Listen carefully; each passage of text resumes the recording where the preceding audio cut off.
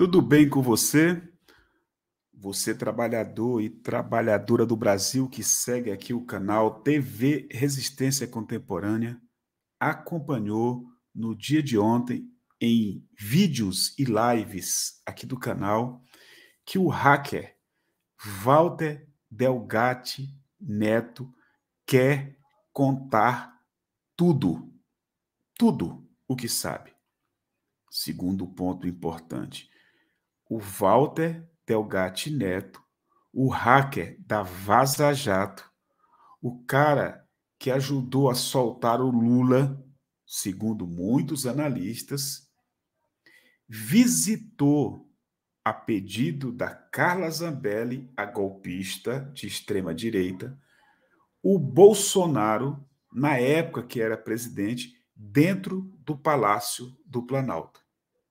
Segundo o advogado do Walter Delgatti Neto, o hacker deve ter entrado pelo lado de trás do Planalto para tentar para que para que a imprensa não visse a entrada dele, a chegada dele no Palácio do Planalto para conversar, olha bem, com o ex hoje ex-presidente da República, o inelegível, Junto a ele, segundo muita gente, os generais bajuladores em torno do presidente.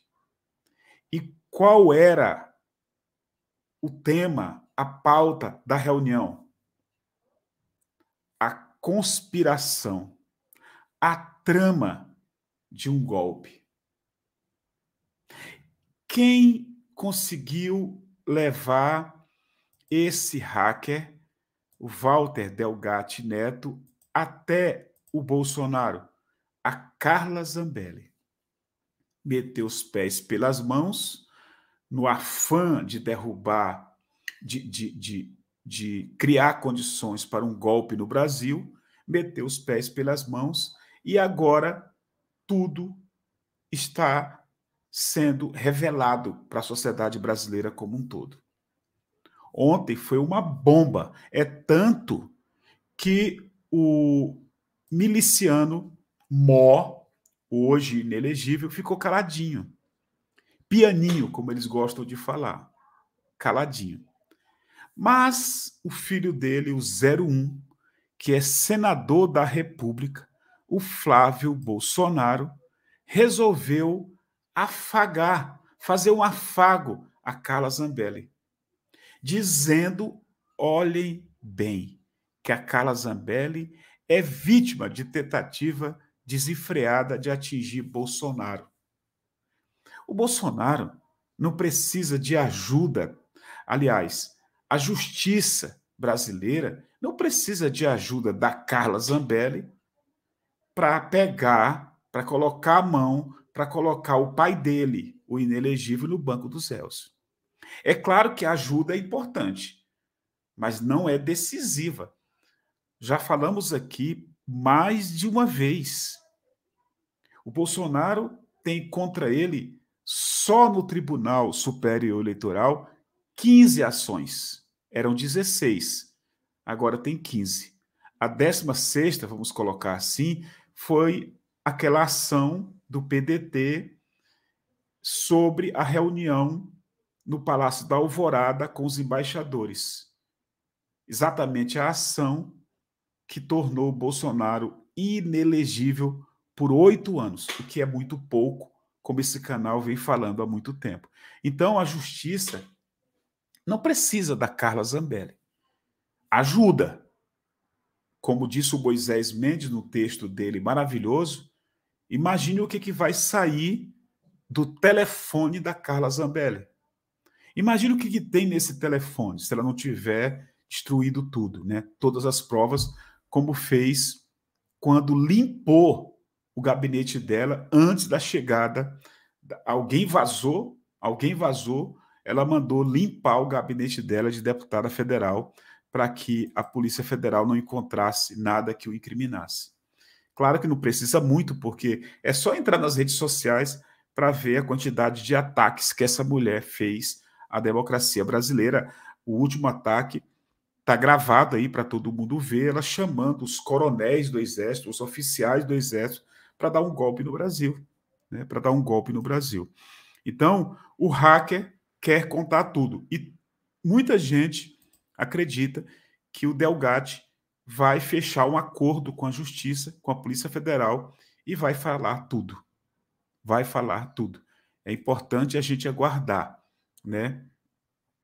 Imagine o Delgatti falando da conversa, né, da suposta conversa, que pode ser muito comprometedora, pode inclusive apressar a ida do Bolsonaro para a cadeia entre o Bolsonaro e o próprio hack, hacker. Tudo organizado pela Zambelli. O PL, que é o partido do Valdemar Costa Neto, como já dissemos no vídeo anterior, já conta como certa a cassação da deputada, né? Então, é muito importante a gente acompanhar. O nosso canal vai acompanhar e trazer tudo para você. Vamos falar do Flávio Bolsonaro e do afago que ele fez ontem a essa deputada que está em fim de carreira.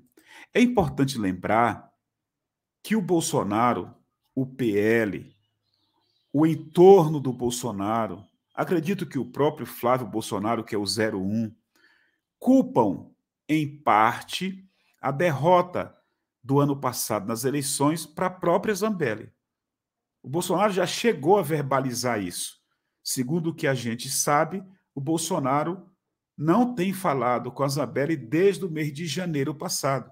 Então, já se vão aí seis, sete meses. Por quê? Porque, segundo o entorno do Bolsonaro e o próprio Bolsonaro, aquela perseguição que a Zambelli fez de arma na mão, olha que coisa impressionante. Isso é só da extrema-direita e brasileira mesmo. A Zambelli pegou uma pistola e perseguiu um jornalista, um homem negro, lá em São Paulo. Lá em São Paulo. Então, aquele fato ali, segundo Bolsonaro, teria sido decisivo para a derrota dele nas eleições. Eu não acredito muito nisso, pode ter ajudado, né? mas não é decisivo, não foi de forma nenhuma decisivo. A decisão estava do outro lado, que é o voto do povo pela democracia votando em Luiz Inácio Lula da Silva. Mas o Bolsonaro culpa a Zambelli e está sem falar com ela. O Flávio Bolsonaro resolveu fazer um afago a golpista. E a gente vai falar sobre isso. Eu quero rapidamente pedir que você se inscreva. Por favor, se inscreva. A tua inscrição no canal, gente, é fundamental para nós. Fundamental. Pegue o link desse vídeo, mande para um amigo, para uma amiga e mande uma mensagem. Por favor, conheça esse, esse canal do Gilbert, do Givalber, do Hilton Faria, da Michelle Amanda, né? Da, da, da, da Lorelai Haddad. Olha esse canal aí, é um canal progressista, é né? um canal da classe trabalhadora, um canal de esquerda. Se você gostar, se inscreva. Então, pegue o link, mande para um amigo, para uma amiga, por favor, para a gente ter mais pessoas inscritas aqui. E aqui a nossa chave Pix. Se você puder e quiser, mande um Pix para o canal.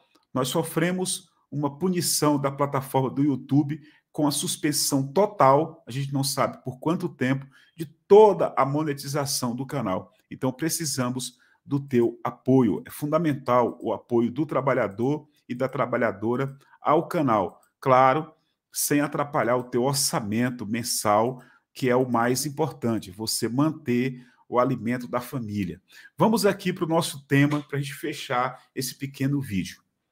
A Carla Zambelli foi foi delatada, não oficialmente, mas foi delatada pelo hacker Walter Delgatti, que deu detalhes do encontro que eles tiveram.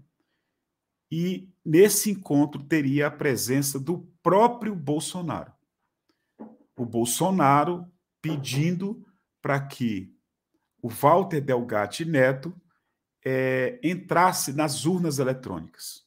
Então, essa reunião foi mais uma parte da trama golpista organizado ou organizada pelo próprio Bolsonaro, por oficiais bajuladores e golpistas ao redor dele, com a ajuda da Carla Zambelli. Por isso, essa deputada que foi eleita lá em 2018 na esteira né, do bolsonarismo e foi reeleita no ano passado pelo PL de São Paulo, vai ou pode ter é, a sua vida política encerrada agora. No dia de ontem, no dia de ontem, é, o Conselho de Ética votou pela admissibilidade da cassação dela em plenário.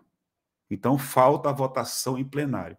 Segunda coisa importante: no dia de ontem, eu já disse durante o vídeo, né, esse vídeo e em outros vídeos, ela recebeu a visita da Polícia Federal no apartamento funcional, na casa de um assessor em São Paulo e no gabinete dela na Câmara dos Deputados. Quando a Polícia Federal chegou ao gabinete, não tinha mais computadores, não tinha quase mais nada, ela mandou limpar né, o, o gabinete antes.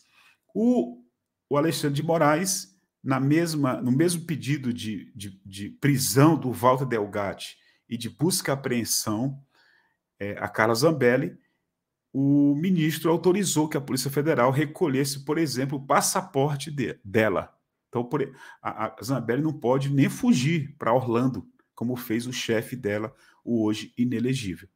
Por causa disso tudo, o Flávio Bolsonaro, o 01, que é senador da República, o filho mais velho do inelegível, disse que a, que a Zambelli é uma aliada deles, sempre foi uma aliada deles. É brincadeira, né? Eles abandonaram a mulher, uma aliada deles, e que essa, que, que essa questão da justiça é, e bater na porta dela é um absurdo, que a Zambelli é vítima de tentativa desenfreada de atingir o Bolsonaro. Então, é o Flávio Bolsonaro afagando a golpista depois de abandoná-la. Todos eles abandonaram a Carla Zambelli desde a eleição passada. É, é claro que esse afago do senador não vai mudar em nada um cenário que está levando aos dia após dia, ela é a primeira da fila, será caçada, não tenha dúvida disso, e caçada sem o foro privilegiado vai para a cadeia. Segundo a Polícia Federal, que a gente leu ontem, ela só não foi presa ontem, junto com Walter Delgatti Neto, porque ela é uma deputada federal. E isso, né, como ela tem foro privilegiado, a Polícia Federal e a própria Justiça, através do Moraes, segurou e, e não mandou prender. Então foi, foi por isso, por ela ser uma deputada federal, que ela não foi presa ontem. Então, tudo indica que na hora que ela for caçada, tornada inelegível, caçada, ela será presa. É o passo seguinte, né? Imagina ela ser caçada numa segunda-feira, numa segunda-feira não, numa terça, é quando o dia da semana que funciona né, a Câmara dos Deputados, na quarta-feira ou no mesmo dia, terça-feira, no dia que ela for caçada, ela vai ser presa porque ela tem foro privilegiado. Então ela vai ser presa. Comente, compartilhe, se inscreva por favor, muito obrigado e até o próximo vídeo.